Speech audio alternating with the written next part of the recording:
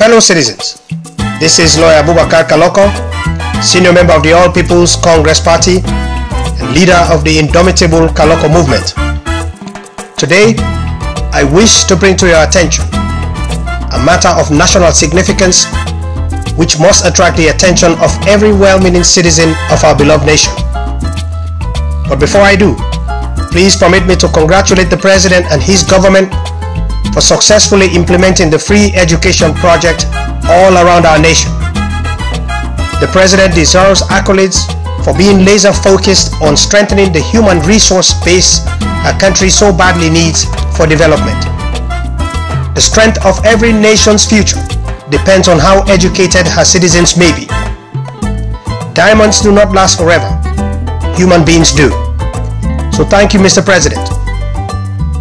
Fellow citizens, I learned today that the House of Parliament published proposed salary increases for members of Parliament.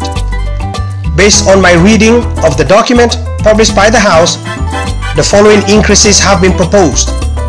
Ordinary members of Parliament should receive a basic monthly salary, salary of 37 million leones, a vehicle allowance of 13 million leones per term, medical allowance of 5,000 United States dollars annually, constituency outreach allowance of 6 million leones a month, rent allowance of 20,000 United States dollars per year, personal staff of 5 people answerable to the Member of Parliament but to be paid by the government of Sierra Leone, a fuel subsidy of 45 liters a week, sitting fees of 1.6 million leones monthly, and a wardrobe allowance of 5,000 United States dollars per term, recess allowance of 37 million leones, and the Deputy Speaker, a salary proposed of 50 million leones, a vehicle allowance not stated, simply said to be maintained, God knows what the number is, a medical allowance of 10,000 United States dollars annually, a rent allowance of 30,000 United States dollars per year, personal staff of 10 people answerable to the Deputy Speaker but to be paid by the government of Sierra Leone, a fuel subsidy of 45 liters per week, sitting fees of 2 million leones a month, a wardrobe allowance of 10,000 United States dollars per term, a recess allowance of 50 million leones, and responsibility allowance of 5 million leones, whatever that means. The Speaker of Parliament, a proposed monthly salary of 70 million leones, a vehicle allowance, he says to be maintained, God knows what the number is, a medical allowance of 20,000 United States dollars annually, a yearly rent allowance of 40,000 United States dollars, personal staff of 10 people answerable to the Speaker, but to be paid by the government of Sierra Leone, a fuel subsidy of 45 liters per week, sitting fees of 3 million leones per month, a wardrobe allowance of 10,000 United States dollars per term, recess allowance of 70 million leones, and an imprest of 15 million leones per week, whatever that means. Fellow citizens, you all will agree with me that these figures are not only alarming, they are extraordinary, unconscionable, fiscally irresponsible, out of line, and simply wrong.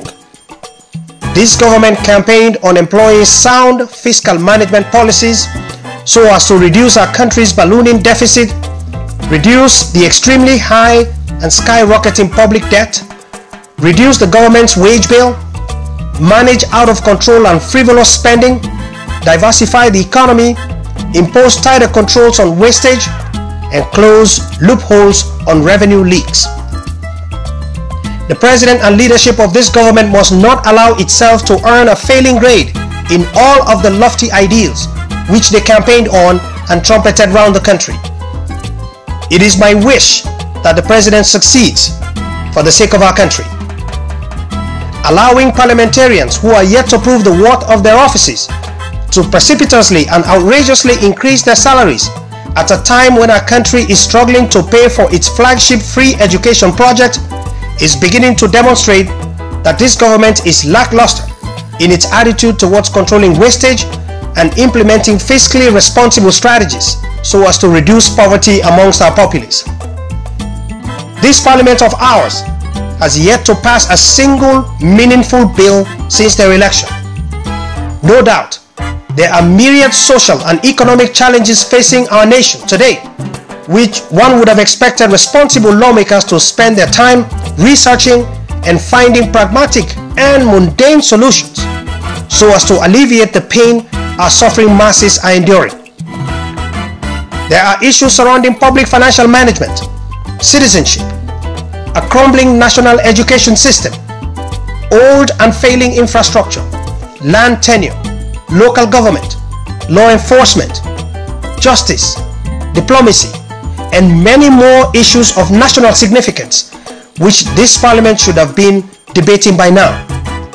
Unfortunately, our members of parliament have been spending more time socializing than engaging in meaningful activities for which we elected them.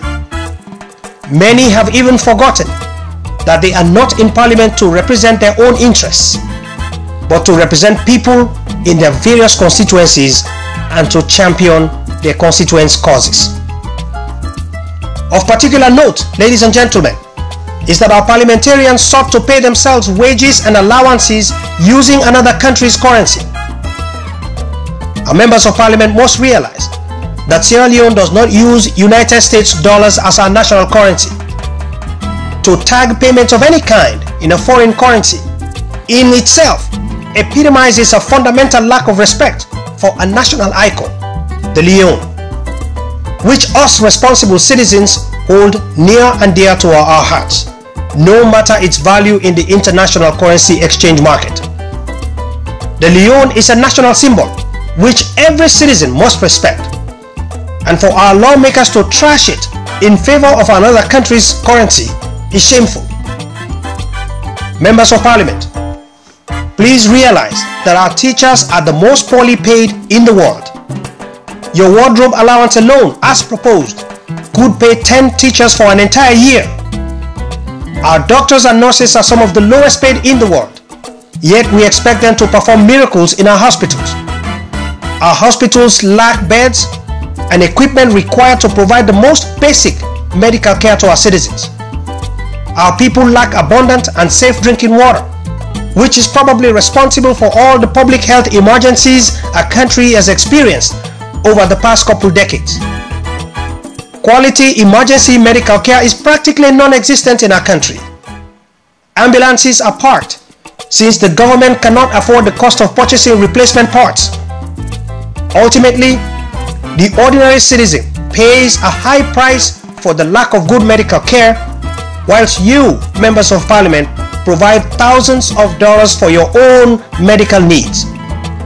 And most of you will be seeking medical care abroad because you do not believe in the medical system existing in your own country. How about the people you claim to represent? I guess they can die if they so choose. Our schools are overcrowded. Our children go to school hungry. Textbooks are not enough. Children do not have enough chairs and desks to sit on. School buildings need to be expanded as the ancient ones constructed over 50 years ago can no longer handle the population growth. Our colleges and universities are ranked amongst the worst performing in the world. Lecturers and professors are poorly paid.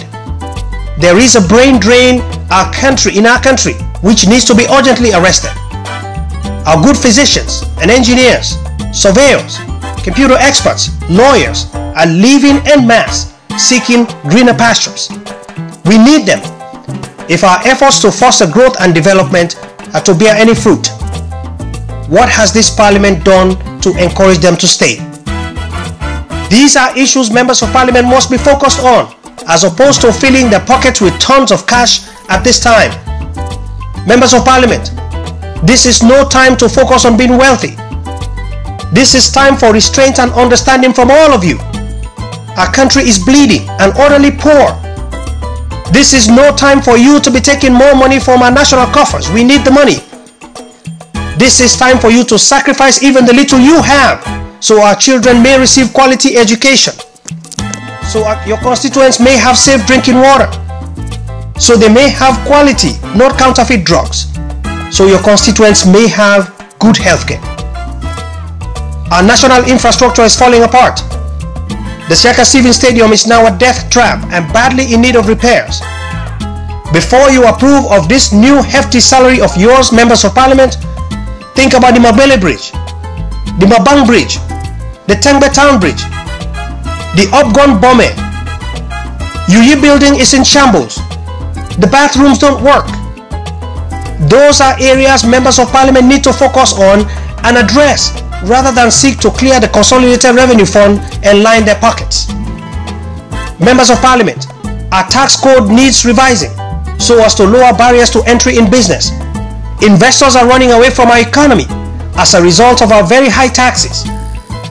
Our judicial and legal system needs serious revamping so as to assure the business community that our courts are in an excellent position to handle and deliver justice in a fair and swift manner. Our main law courts building is an eyesore. Its internal infrastructure is nothing a serious lawyer can be proud of. Our judges are not the best paid in the region. Our policemen, our military, our correction officers, the backbone of our judicial and legal system need appropriate tools to be able to deliver. A single month's salary for a member of parliament as proposed could pay 37 policemen. Ladies and gentlemen, if that is not unreasonable, please tell me what is. Our policemen need batons, tasers, pepper sprays, trucks. They need uniforms, boots, belts, and so do our military and correction officers. Your proposed wardrobe allowance per MP could purchase uniforms for 100 policemen. Members of Parliament, I urge you in the interest of Sierra Leone and for love of country to withdraw this very unreasonable pay raise you have unanimously approved and work for the people who hired you. Our people are the ones who need the money most, not you. Some of your constituents can't even afford a single meal a day. Please give them a chance to live. We need the money to buy rice so they may eat. Fellow citizens, I have issued this statement to urge His Excellency President Julius Maada Bio to intervene and restore fiscal discipline in Parliament. I also urge the President to remind our members of Parliament that they have a solemn duty to represent the people of Sierra Leone, not themselves. Please, Mr. President, do whatever you could within your power to reject this unnecessary and wasteful pay raise. I also call on the Honorable Speaker of Parliament to show leadership and demonstrate to the people of Sierra Leone that he is there to lead and not to become rich. Long live the All People's Congress, long live the Republic of Sierra Leone.